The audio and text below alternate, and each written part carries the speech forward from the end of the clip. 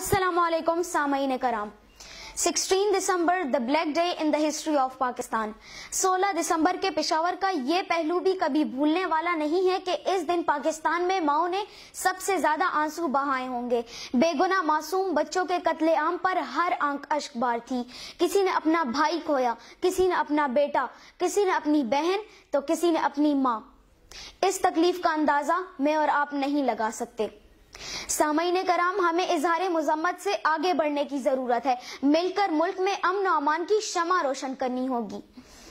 Sania APS हमला कौम की माओ के दिलों पर हुआ था। ये हर उस माँ के दिल से पूछो, जो एक बच्चा पैदा करने से लेकर जवान करने तक किन मुश्किलों से लड़ती है। क्या इस दिन के लिए कि कोई भी आए और इतनी सिफाकी से इसके लाल को मसल दे? मैं इन माओ के दुख का मदावा तो नहीं कर सकता, लेकिन आज के दिन ये अहद ज़रूर Likey